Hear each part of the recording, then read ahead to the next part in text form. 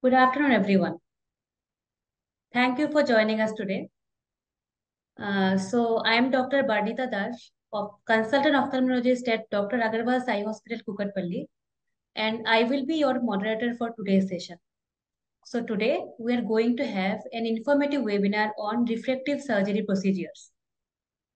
So, before we dive into the exciting world where you can live without spectacles, let me introduce you to introduce you to our esteemed speaker. He is a renowned expert in ophthalmology, currently working as clinical head at Dr. Agarwal's Eye Hospital, Kukatpally. Dr. Seshachalam Nitin has dedicated 17 years of his career in improving vision and quality of life for countless number of his patients. He is an expert in wide range of refractive surgery procedures like PRK, LASIK, SMILE, intraocular lens implantations. And today we are going to learn about all these procedures from Dr. Nitin in a while. Throughout this webinar, you can also ask us your doubts and post your questions in the chat box. After this, this webinar, we have one question and answer session where we will be answering all your doubts. So let us start. I welcome Dr. Nitin. Thank you for joining us today. This virtual stage is all yours. You can start, sir. Thank you so much for the kind words, uh, Varnita. Uh, very warm welcome to everybody who's taken the time to join us today uh, to understand a bit about what modern techniques in refractive surgeries are. Uh, and uh, so let's begin without delay.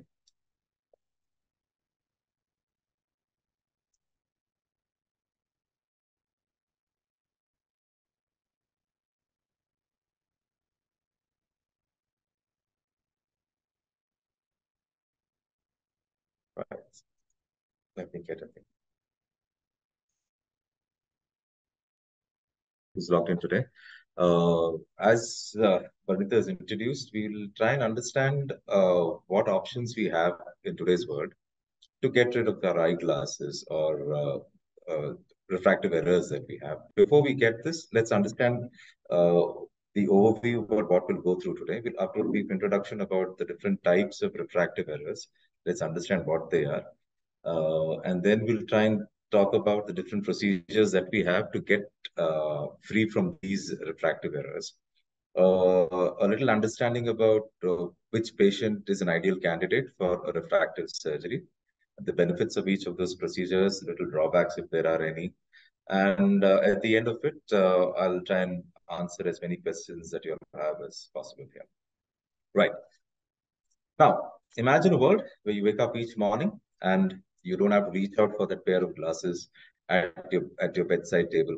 Imagine a world where you can go out to the gym or you can go out to uh, go out on a hike or go out uh, doing all your adventure activities that you like without having to depend on a frame on top of your nose or contact lenses placed inside your eye. Uh, refractive procedures make this kind of life a reality.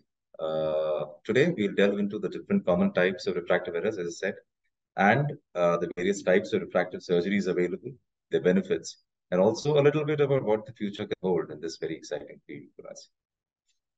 Now, coming to what is a refractive error? A refractive error is a common vision problem where the eye cannot focus light very sharply onto the retina, and therefore uh, images feel a little blurred for uh, the person who has this kind of a refractive error. It affects different all, all kinds of age groups. The most common type of refractive error that we have is called myopia or nearsightedness. Uh, this is what most of you will have as a minus power with uh, uh with you guys uh, in, your, in your spectacle correction. Uh, what happens in myopia is the optical apparatus of your eye, which is the cornea and the lens, the focusing apparatus of your eye, is a little overpowered and it tends to focus light which is a little short of the retina or the sensory layer of the eye. It can also happen if your eyeball is a little normal than usual. This is the most common type of refractive error that is prevalent. The opposite of myopia is known as hyperopia. Here, what happens is uh, the optical apparatus is a little weak, and therefore the light that uh, uh, the focus point is not on the sensory layer again and falls behind it. And therefore, things that are uh, far away might be clear, but things that are near become very difficult to see. As is the opposite of myopia, where myopia with people with minus power, they can see things which are near very clearly, but things from far seems very blurred. In people with hyper, hyperopia or hypermetropia or people who have a plus power, things from far are clear, but things from near become very difficult to see. The third type of refractive error is known as astigmatism, where light focuses on two different parts of the retina, and therefore that leads to a little bit of a blurred image. This is the kind of power that you have as a cylindrical power in your eye, uh, usually mentioned with certain degrees but ranging between 0 to 180 degrees. So these are the three most common types of refractive errors that uh, people in the younger age group have to deal with. Uh, the fourth type is known as presbyopia, and this is something that everybody has to go through.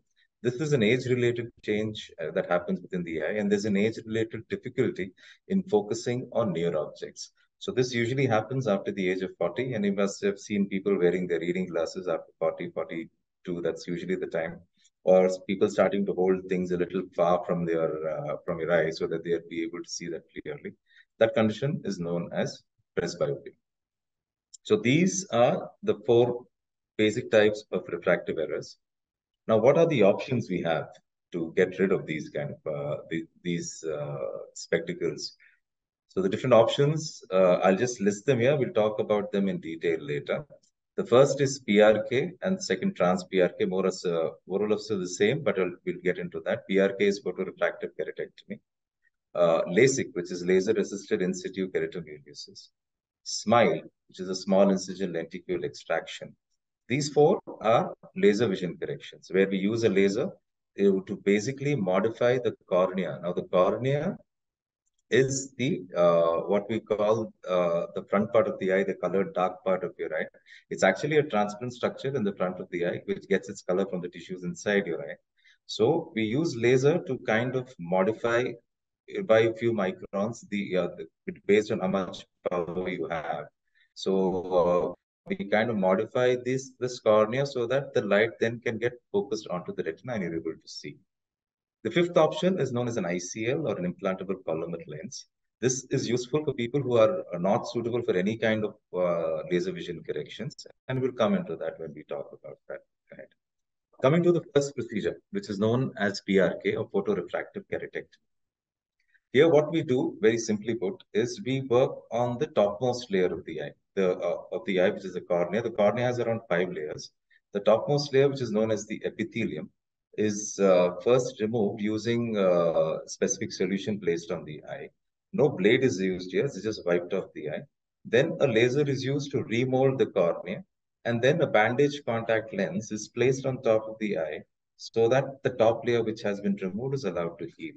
This uh, usually heals at around three to four days, during which duration the bandage contact lens is in place. PRK is a very good procedure in the sense that it helps us to work with even thinner corneas and corneas uh, which might be slightly weaker based on our assessment. Uh, it has been there for a long, long time. Uh, we've been doing PRKs for almost 30 years. We use something called an excimer laser here. Uh, this is a procedure that's also done for people who need to get into a kind of a lot of physical activities, like people who need to get into uh, probably the, uh, the armed forces or police work, or people who are sports people who might get into, uh, who have a heavy kind of physical activity. PRK works very well for them. Trans PRK, also known as trans epithelial PRK, is a complete laser procedure. It is a PRK where instead of using a solution to remove the top layer of the eye, uh, the top layer, which is the epithelium of the cornea, we use a laser to do the same thing. We'll try and see if this uh, video works for you. Uh, we'll try and I'll try and show you a brief video uh, overview of the videos at the end if possible, right? Now coming to LASIK. LASIK is one of the most commonly uh, heard about terms. It has been uh, uh, in vogue for, again, the past 25 to 30 years.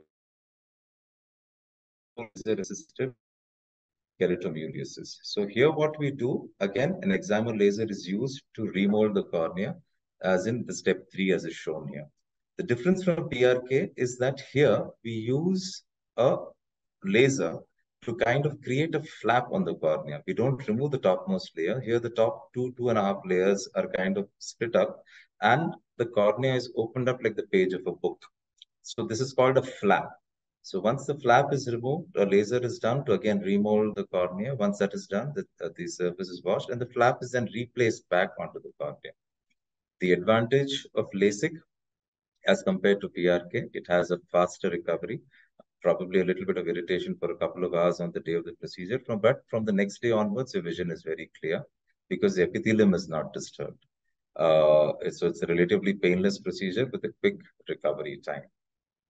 However, in these days, we've been doing very little LASIK because we now have uh, a new uh, option that is much more better because it, as let me just understand this area of the flap. So as I talk about smile and understand how that becomes a little more advantageous. That is the third option that we have, which is smile, which is small incision lenticule extraction. Here, again, the amount of tissue, this is a completely all laser procedure. There's no excimer laser used. There's no splitting of the cornea or no lifting of the flap that is done. Here, whatever tissue that needs to be removed or remolded is kind of, uh, we use a femtosecond laser, which is a more modern laser here, or a nanosecond laser. We create a little lenticule in the eye, like a disc within the eye. That is the area that needs to be flattened. And through a small little opening, which is like 2.5 to 3 millimeters, that tissue is then taken out. So this is where that small incision comes in. So the advantage is because we are not actually splitting or lifting up the flap, a lesser area of the cornea is disturbed. And therefore, this leads to a much more stable cornea, uh, very little uh, side effects, uh, a more stable refraction, and a very, very fast recovery. So SMILE is one of the most modern techniques we have. Uh, and uh, this is our go-to procedure in most cases that wherever this is suitable, right? Again, let's try and see if this works for us, but uh, yeah, that's fine. Coming now to the last option, this is now a surgical option, which is called an ICL or an implantable collamer lens. Now, laser vision correction that I talked about, that is PRK or trans PRK, LASIK or SMILE. All these techniques involve, as I said, remolding the cornea, remolding the cornea or flattening the cornea so that your cornea now focuses light onto the retina. Uh, certain cases are there, certain individuals whose corneas are a bit too thin. They're not strong enough for us to do any kind of laser on them because uh, then long-term stability and long-term vision safety becomes an issue. Here, ICL comes into the picture. ICL is a surgical procedure where through a small little keyhole, this little little lens here, which is as thin as a contact lens, is placed into your eye between the cornea and your lens. Now, uh, this is specifically designed by taking measurements of your eye. Putting that lens in takes around 5 to 10 minutes. It's a very safe and effective procedure for people who are not suitable for laser vision corrections. So, who are the people who are eligible? For these kind of refractive surgery option. Age, the first criteria that we look at, you need to have completed a minimum of 18 years of age. What is more important is a stable vision or a stable refractive error. If your refractive error has not changed by more than 0.5 since the past six months, and you're above 18 years of age, you become an eligible candidate for a laser vision correction or a refractive procedure, let's call it that. But eligibility is different from suitability. So if you're eligible, what a scan or a pre-assessment in our clinics where we and uh, where we try and uh, assess the strength of the cornea by through its corneal thickness and uh, the shape of the cornea. We have one of the best machines, uh, which is called a Shine plug uh, imaging uh, machine Dr. Nitin, your voice is breaking a bit. Hello, sorry. Your voice Can was you me? breaking. actually. Yeah, yeah, now we can hear you. Sorry, the internet connection was a little unstable. Am I am I clear now? Yeah, yeah, you, you are, you are. Yeah. Yes. So now we, we make an assessment and then try and choose which of these different options that I talked about is suitable for uh, each individual person. How long does the procedure take? It's a relatively quick uh, outpatient uh, procedure. It takes usually around 10 to 15 minutes to do both the eyes. Both the eyes are done on the same day. The patient uh, walks in out uh, the operation theater and walks out of it. Uh, uh, and recovery times with LASIK and SMILE, you can get back to your suppose computer or work or whatever within two or three days. With PRK, maybe you might require a little longer time up to one week. for you to get back to work. Preoperatively, as I said, we do a complete evaluation. You need to stop, if you're wearing soft contact lenses, you need to stop them for at least a week before we get any kind of uh, procedure done. Postoperatively, as I said, rest and recovery is very important. Uh, drops will be prescribed to you. Will be given protective eyeglasses to be worn. Usually, these need to be worn for a maximum of around uh, uh, one week after the procedure. We ask you to avoid washing your face for three days and avoid washing your hair, getting a head bath for around five days. Limit screen time and reading. Again, as I said, uh, if it is smile or LASIK that you're getting it done, you can get back to your screen in a couple of days. If it is PRK, up to around one week. So these are the different refractive options that we have. It gives you visual freedom and convenience. These are quick, it is it, it has a quick recovery. These are cost effective, and the whole idea is that you can live a life which is independent from the spectacles or contact lenses. So thank you so much, all of you, uh, for logging in to this webinar. We'll probably try and answer uh, if uh, Barnita, if you have any questions that are there, we'll probably try and get this.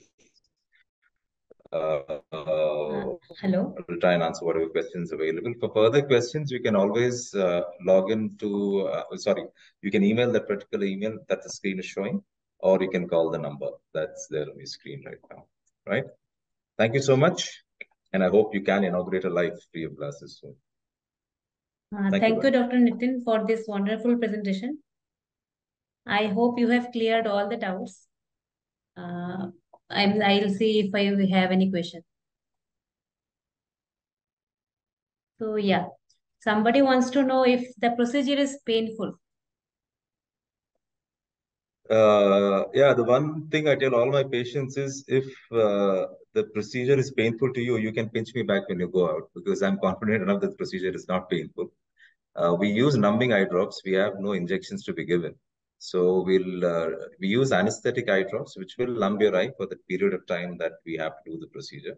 So it's a completely painless procedure. Yes, with PRK, which is the first option that I discussed, where the epithelium is removed and we put a bandage contact lens for the epithelium to heal. There will be discomfort, there will be light sensitivity, pain, and a little bit of watering for at least two to three days after the procedure is done.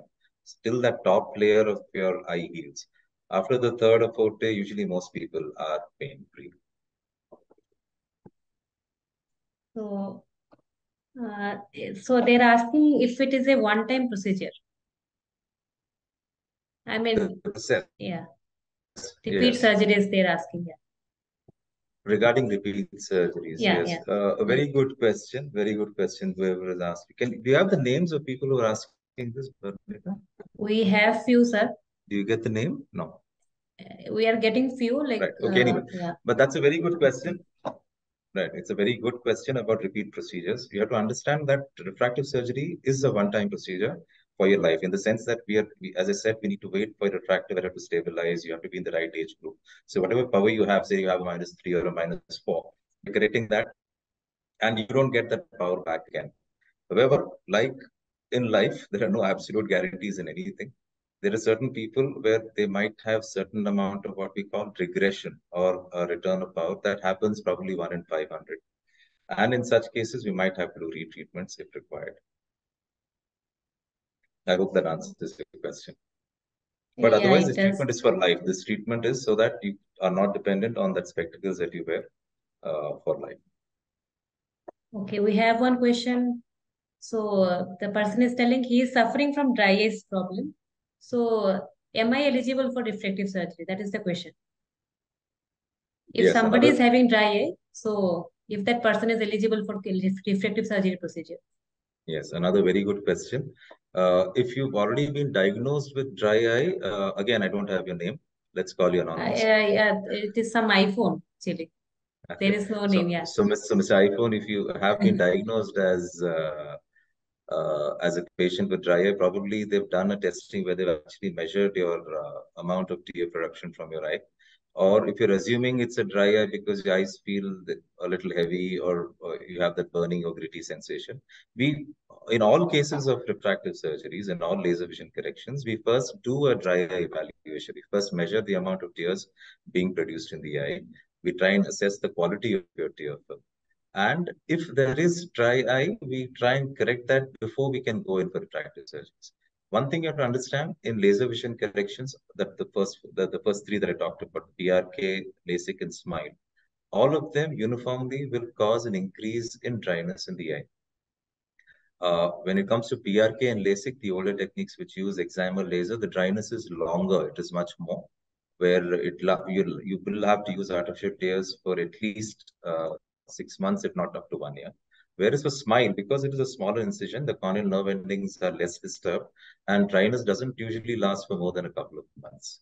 So, uh, in so we choose based on how your tear film quality is, what would be the right procedure for you. But yes, if it is a severe dry eye, we need to first treat that and then probably go in for a refractive correction. Okay, so the next question is from Yogandar, if I'm right. So he's asking if the process is 100% success. So part of which you have answered already, I think. So part of which you answered, yes, Mr. Yogan. There yes. is no, unfortunately, there's no such thing as 100% anywhere in life. It's a bit like crossing the road. That's what I tell all my patients. It's a bit like crossing the road. Uh, there's no 100% guarantee you'll get to the other end, but there's a 99.99% chance that you'll get there. Uh, whatever risks are there, if we find certain things in a pre-evaluation, we try and discuss that uh, completely with the patient. Uh, I uh, by 100%, there are two things that a person can mean. One could be whether the complete power goes, right? Uh, or will the power never come back again? Now, coming to the first part, whether that uh, power completely is taken off. Now, we target emmetropia. You have to understand there is no such thing as zero in ophthalmology. No, no person in this uh, in this world ever has a zero power if you check people who are not using glasses also and you actually put them in evaluation, you might find that they might have a small power of around plus or minus 0.5. Now, similarly, when we do a refractive correction, we target emmetropia so that you're not dependent on spectacles. That we are doing this procedure on tissue that has life it's a living tissue. It's not a piece of glass where put in a scratch and that scratch remains. We put it on a, it's, it's a living tissue where there will be a biological response. So this response is usually within plus or minus 0.5 and you're not dependent on your spectacles. I hope I was clear. The internet connection is stable. Was that clear? Could In between it went off, but I think it was clear. Yeah. We yes. could hear it. Yeah. So uh, shall I go for the next question, sir? Yeah, please, please. So Subramaniam is asking if somebody has uh, undergone one PRK or LASIK, and then mm. he is above 40 now. Mm. So does he does he need to use glasses? I think he's he's meaning that presbyopic near glasses. Presbyopic. That is what he's very good, yeah. very good, very good question, Subramaniam. Uh, you have to understand that when you talk, like when I talked about the different types of refractive errors, the first three that I talked about, which is myopia, hyperopia, and astigmatism. These are the powers that people are usually uh, they usually develop in their younger age through their school and college life, and they're dependent on the spectacles for throughout their life. This doesn't happen in all cases, but certain people. So people with refractive people who need refractive correction are these group of people. Coming to have uh, the requirement for reading glasses in later life after the age of 40, that is an age-related age-related condition that everybody has to go through. So whether you have refractive correction, whether you had glasses in your school or college, uh, or you never wore glasses ever in your life, when you get close to that age, your eye ages like every other part of your body. Uh, the muscles within the eye become weak, the elasticity of the structures becomes a little less. And that's why we tend to develop uh, near near objects tend to get a little out of focus, which is why you tend to need reading glasses. So yes, even if you've got a laser correction done, for your permanent glasses that you needed that you had before, uh, you will still require reading glasses after the age of usually after the age of 42 to 43. I hope that answers your question. Yes. So next, Mr. Rao is asking, Uh, so if cataract surgery is done, Hmm. so after cataract surgery, whether some uh, LASIK or something is possible or not? That is his uh, question.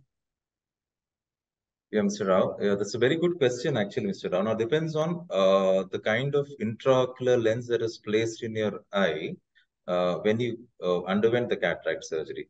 Now, one of the methods of correcting glasses that we've not mentioned here, because that would probably take it beyond the realm of our discussion of laser corrections, is uh, cataract surgery itself. Cataract surgery uh, with the modern lenses and the modern intraocular lenses that we have as surgeons in front of uh, at our disposal. That itself has become a refractive surgery where we can correct glass powers both for far and distance with the intraocular lens that has been that has to be implanted into the eye, where we have different types of trifocals, multifocals, or extended depth of focus intraocular lenses that can correct uh, various types of powers uh, within the eye. Now, suppose you've already got a correction done and it was a monofocal lens, then you will still have to depend on glasses for your reading purpose. I hope that answers your question. So they're asking whether LASIK surgery can be done or not after cataract surgery. I think that was the question. LASIK surgery can be done after cataract surgery. Yeah. In case, uh, like, uh, I, I, I hope I let's put it this way. In the case like if you've uh, undergone a cataract as a refractive procedure, let's say that way, where you you thought about getting rid even after a cataract surgery, you have a lot. Usually with a cataract surgery, you won't have any power remaining for distance unless it's around 0.5, 0.75 again. It's very mild. But if it is very significant, it's two and above, then yes, we can do laser corrections to correct those powers. So Mr. Rao has one more question which I can answer, I think. He's asking yes. where can he meet you? so yeah, Mr. Rao, you can come to Dr. Agarwal's Eye Hospital, Kukatpally branch. Dr. Nitin is available from 9 a.m. to 5 p.m. here. You can either get an appointment or just come walk in. So yeah, so next question is from Manjushri. She's asking which type of surgery is highly suggestible? Yes, it's like uh, Again, uh, a very common uh, question, Manjushri. Uh, it's a good doubt to have. What would, uh, if, let's put it this way, uh, there are certain procedures which would be suitable for certain individuals based on uh, what their power is, based on how thick their cornea is, based on how the cornea is shaped, or let's say how this, how strong the cornea is. and what, based on that, we need to choose what is an ideal procedure for them. But having said that, if all the different types of procedures are suitable for a person, if I had to choose, I would choose Smile for a particular person because of its obvious advantages, small incision, uh, faster recovery, a more stable and strong cornea, fewer side effects. So Smile. Okay. So another question is from Manjushri. A very nice question, sir. So she's asking uh, for all the types of surgery. I hmm. mean, eh, she means to say, I think, which for which power, which surgery should be done. That is what she wants to know. Yeah, I wish it was that easy. Then we wouldn't need surgeons to be here at all, Manisha. because uh, the point here is, uh, as a surgeon, we have to one more point. That's a very good point that can we can answer through this. Laser surgeries are, frankly, a lot of the work is done by the machine itself. These are very high-end machines with very precise lasers that can correct a refractive error to a T. So the actual surgical work uh, is not much. Uh, there's a little bit of skill involved, but the greater skill is in selecting the right procedure for the right individual. And that is where knowledge and study comes in, where we need to assess your cornea and need to assess, as I said again, it's multifactorial. It's not like you have, there are certain cases where we cannot even correct minus two. And there are certain cases where we can correct minus 20 also. So it's not about how much power you have. It's about the overall picture about what the power is, what your age group is, how strong your cornea is, and what your expectation generally is from refractive surgery. I hope that answers your question. Yeah. So Mohammed is asking if the surgeries are applicable to uh, like more than 31 years of age. If we ah, can Mohammed, go for the surgery. Mohammed, 31 is very young here, definitely. So uh, Arvind is asking I, about ICL procedure. Like, what is yes. that procedure? I uh, yeah, I spoke briefly about it, uh, Arvind. ICL, as I said, stands for implantable Collamer lens, or call it a permanent contact lens, where a specially designed lens is placed into your eye. Now, laser corrections are done on the cornea, which is the black circle, or it's actually a transparent uh, structure in front of the eye. But where we cannot do any procedure on the cornea, we put in a permanent contact lens into the eye through a small little keyhole. So uh, that is an ICL procedure. Uh, we need to take measurements, and these measurements are sent to the company, uh, which then designs that lens for you. Once the lens is here, we then put that into your eye that it takes me around five minutes to do an ICL procedure. We do one eye at a time. Recovery again, ICL has its own advantages because uh, again, one of my it, it, was not smile. My second favorite procedure is always an ICL uh, because uh, one with an ICL we do not change the God-given eye. Uh, we do not uh, thin out or flatten out your cornea. Your cornea, as is God-given, remains the same we are putting something into your eye, so we're, we're not taking something out. So that makes it a little safer. Uh, we are not touching the cornea, so there's no dryness. So this also kind of brings me back to the first question about people who had a dry eye and whether they can get procedure done. People who have a dry eye, we always think about putting an ICL rather than going for a laser vision correction. Again, because ICL does not cause any dryness after you put it. Also, another big advantage with an ICL is because you're putting it into the eye, it is close to what we call the nodal point of the eye. So certain patients have also reported uh, an improvement in vision, like suppose they were able to see only five or six lines. After the procedure, they're even able to see a part of the sixth line, which uh, is another advantage of ICL. So Jhansi is asking, she has undergone surgery already 14 years ago. Yes. So she is she is now suffering from myopia again. So she is 51. So she is asking hmm. whether she is eligible for further surgery or not. That is her question. Yes, Jhansi. I mean, uh, uh, uh, this way, uh, for different people in different age groups, we need to assess because if you are 50 plus, it brings you very close to an age where um, uh, so your vo voice is breaking.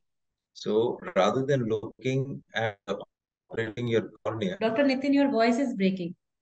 Yeah, yeah there's a little unstable connection. I'm. Yes, yes. I'm not. I'm not speaking right now. Is, is it okay now? Yeah, it is fine. Yes. Hello. Yes, it is fine now. Yeah, it is fine now, doctor. Just this moment.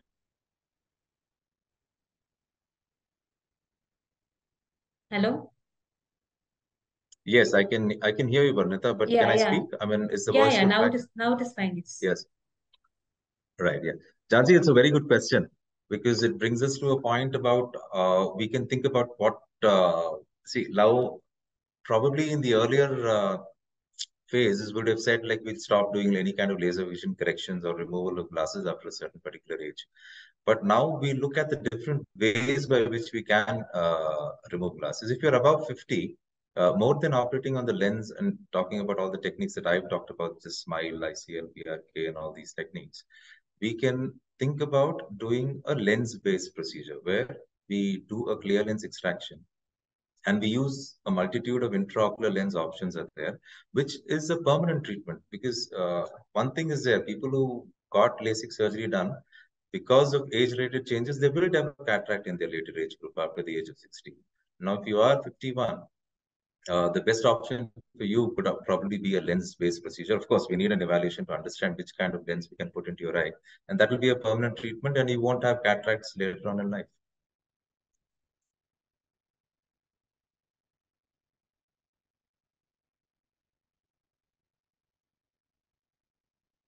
Uh, I think Barnita, your thing is on mute. I'm sorry. Yeah, yeah, yeah. Yeah, sorry. So Kanishka is asking, uh, my power is still increasing gradually. So shall I go for the surgery? You have already answered that in your I answered the question, Kanishka. Depends on your age. I mean, if you're if you're above 18, say you're above 21, and your power is still increasing, then you need to get yourself evaluated because we need to evaluate your retina and understand whether there's uh, certain conditions that we need to look out for. So if it's still not stabilized even after 21, uh, please do go come in for a checkup or visit your uh, nearby specialist. So Kavya is asking whether both eyes can be treated at the same time. So, hello? Yes, Kavya, we answered that both eyes are yes, hello. Yes, I could Yeah. hear that. Kavya, we, we do we do treat both eyes at the same time. Both eyes, as I said, uh, refractive surgery takes around 10 to 15 minutes. Both eyes are uh, treated at the same time. You walk in and you walk out of the operation theater. Uh, unless it's an ICL where we do one eye at a time, we do that. Uh, we do one eye in one day and do the other eye on the next day. That's the only difference. So Miss Ramadevi is asking, in case of retinal degeneration, Hmm. whether this kind of surgery still help or not. Yes, uh, uh, Rama, we do as one other part of our evaluation before we do any kind of refractive procedure is we do a complete evaluation of the retina. And if there are any weak spots in the retina, they need to be treated first before we can uh, go in for any refractive surgery. So retinal degeneration in the sense now that, that it's a very broad term. Now what kind of degeneration you're talking about is very difficult to assess. But in a normal younger patient, if you're assessing for any kind of weak spots within the retina, we need to treat them first before we for any refractive surgery. So Mr. Guru Prasad is asking about the cost. Yeah, that's the, I don't charge any money. The, the people who charge the money will tell you about the cost. But uh, yeah, but generally, let's say uh, have different options available. Uh, and uh, there are low cost options and uh, there are expensive options too. So price should not be a factor for you to hold back uh, from getting rid of your glasses because there are uh, less expensive options also, Mr. Guru Prasad. That's all I can say. But you need to be suitable for those less uh, expensive options. So that's something that we can probably evaluate and then tell you. Okay, so we have next uh, in a person with astigmatism and myopia, Mm. if smile can be Mm. done, done. So that is the question asking. Kanisha. Yeah. So Kanisha, from Manisha. Kanisha. It's a very, yeah, very technical question. Uh, there is uh, smile uh, has been approved within India. I mean, there is a certain thing about a certain amount of astigmatism uh, could not be corrected with smile in during the earlier phases. But now we even go up to astigmatism up to minus three cylinders, and patients are quite happy even after smile. But if your cylinder or astigmatism is much more, uh, or if it's only astigmatism that we need to correct, then I would probably look at other options to probably correct you. Depending again on all multiple factors, I would probably choose a LASIK or think about a toric ICL or something or a PR. Okay, so Raju is asking uh, if somebody has been treated for myopia and then he is having hypermetropia, I think he wants to mean, then what to Uh-huh. do? So that is again the same question, I think. No, hyperopia, I guess. huh? Yeah. Uh, yeah, hyperopia hyperopia? they're asking. Yeah, yeah. asking about hyperopia. So- hyperopia is rare, yes, uh, and most of these corrections work very well for minus powers, uh, or to a certain small degrees of hyperopia. But if it is a large plus power that you have, then we again look at rather than working on the cornea because that much tissue is not there in the cornea for us to be able to correct uh, large plus power. We look at then working on the lens where we can uh, do a clear lens extraction and use the intraocular lens to correct your power. So yes, uh, there are options for everybody, but which option is going to suit you is uh, dependent again about uh, on on the evaluation that we have to do. Uh, Mrs. Bhanushri is asking, she is 72. So whether Okay. she can get a smile or LASIK. I mean, uh, you can get a smile from me, Van- uh, Garu. Uh, that's a smile you can get, but I can get rid of your glasses by working on your lens. I think a cataract surgery is the best for you. Okay, so so uh, Mr. Kumar Reddy is asking, I'm 26. My power is minus 2.5. So which surgery would you suggest for me? Again, as I said, it's uh, it's not always about the power. Uh, we can, uh, as I said, sometimes we cannot correct even minus two, and sometimes we can correct even minus 20. So it's not the magnitude of power. That's only one of the points that we look at. If your cornea is suitable for all different types of procedure, let's say, assuming that everything is fine and all the different types of procedure suitable for you, I would go for smile.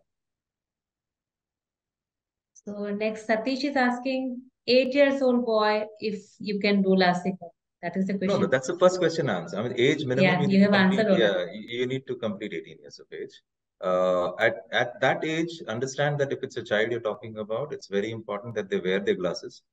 Eight years, the first 10 years of life, it's very, very important for the connections between the eye and the brain to develop. Uh, a regular checkup once every six months is what we recommend. And every time there's a change of glasses, you need to keep changing them. And once it stabilizes, then we can look at options after the age of 18. Uh, so, okay. So, uh, okay, we answered this. Have you answered most questions? Uh, yeah. Okay, one more question is uh, my daughter is 14 and 14, her power is minus 10.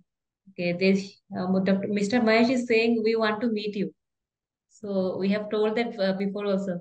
He is available Yeah. at, yeah, yeah. So he wants to meet you. That Hello, Mahesh. You can you can visit us at uh, uh, uh, Eye Hospital. This is at you can search on Google.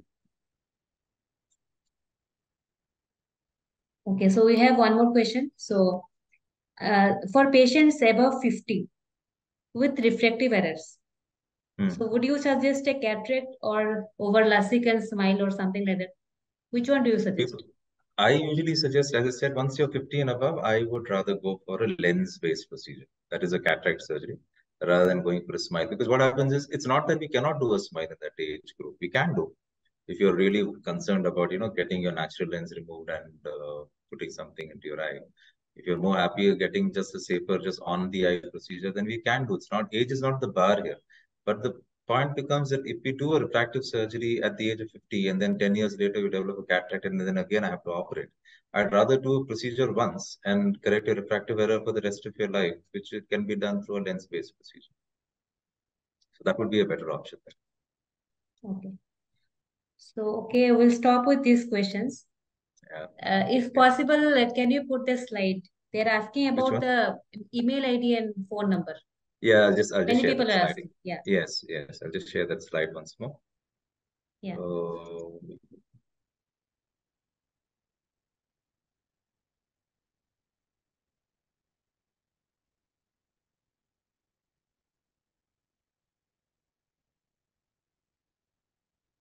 So I hope we have answered all your doubts. If you have any further queries, please write to us in this email ID. You can even call in this number also. It is in your screen now. Please note it down. We'll be happy to answer all your questions.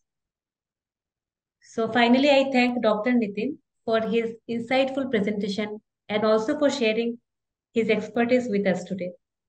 I thank all the audience who has uh, joined the webinar today and made it successful. So stay safe, stay informed, and stay connected with us in our website and also uh, in social media platform.